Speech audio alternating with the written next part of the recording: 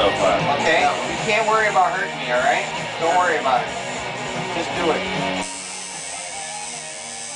It hurts and I know it.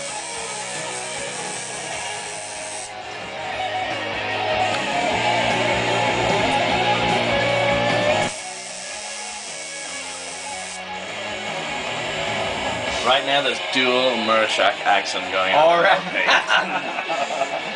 Adrian's doing one up front comfortable. Rest your hand on me, do whatever you gotta do.